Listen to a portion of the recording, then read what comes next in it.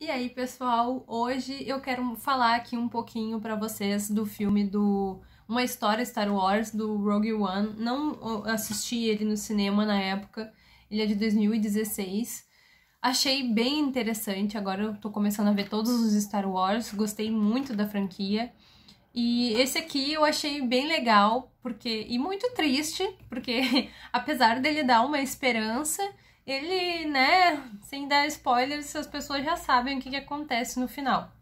Mas ele tá disponível na Disney, então eu resolvi falar um pouquinho aqui sobre ele e sobre o que eu achei mais legal. Eu gostei muito da, da história, eu achei um enredo muito bom, principalmente para quem é fã de Star Wars, tem ali os easter eggs legais. E o que eu gostei muito também foi o elenco, porque o elenco sabe? Tipo, os Star Wars antigos, tá? Tinha o Harrison Ford ali, que era um, tipo, um famoso, né? Mas no Rogue One junta vários, então eu achei isso bem legal, porque tem a Felicity Jones, que ultimamente ela tem feito vários filmes bem famosos.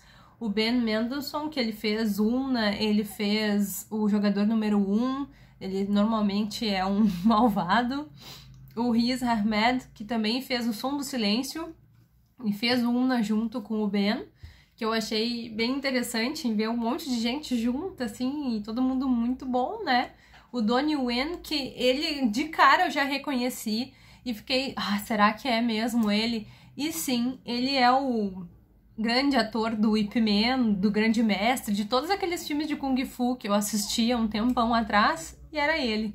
Então eu, bah, muito show, sabe? E ele lá também meio que luta, ele é um Jedi, mas ele luta um Kung Fu também. Tem o Mads Mikkelsen, que eu nunca imaginei ele no Star Wars, eu só lembrava dele como um vilão lá no Cassino Royale do 007. Tem também o, For o Forrest Whitaker, que é aquele cara com aquela voz assim bem... como é que é a voz dele? É bem uh, arrastada e, e rouca, né? Que ele é um ícone muito famoso.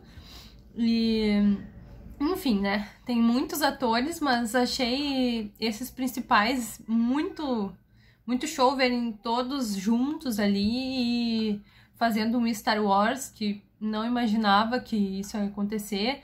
E esse filme se passa um pouco antes da do filme que a princesa Leia rouba ali os planos da Estrela da Morte, né? Então é legal que tudo fica conectado, eles conseguiram fazer uma coisa bem real. Eles usaram ali os ah, agora não me lembro se foi, acho que foi com computação gráfica que usaram recriaram ali a princesa Leia e o o coronel lá.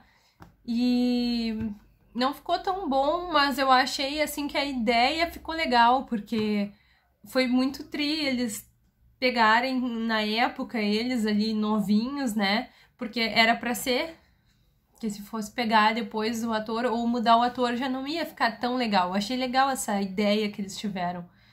Então, nossa, acontece muita coisa, o filme é muito bom, ele é bem interessante, principalmente para quem gosta, esses filmes fazem toda a diferença porque eles conseguem trazer um gostinho a mais, mesmo depois de já terem muitos filmes, 11 filmes, né?